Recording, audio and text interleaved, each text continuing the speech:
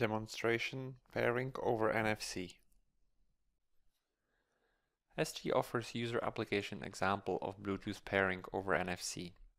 The application runs on STM32WB5 Nucleo together with an NFC shield that integrates ST25 dynamic tag. The second part is the application for Android, which is provided also in the source code. You can find both of these resources in the links in the presentation. I also recommend you uh, an, an NFC webinar that focuses solely on the secure Bluetooth pairing.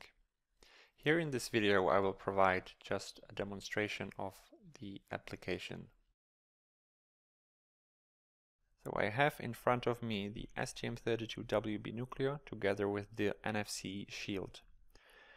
The user application writes the Bluetooth address into the NFC tag. So when I tap the phone, the application connects directly to this one particular device without the need to search through the lists of all the advertising devices around me.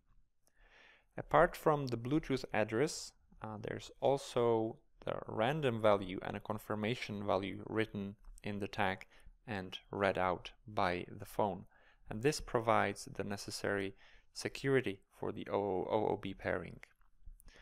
So if I now open the ST25 OOB application and tap the tag, I can connect directly to the device I want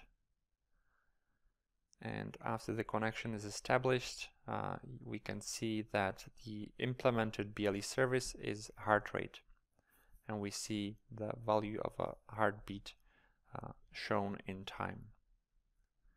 If I go to the Bluetooth settings in the Android and disconnect, you will see that the device appears uh, to be bonded.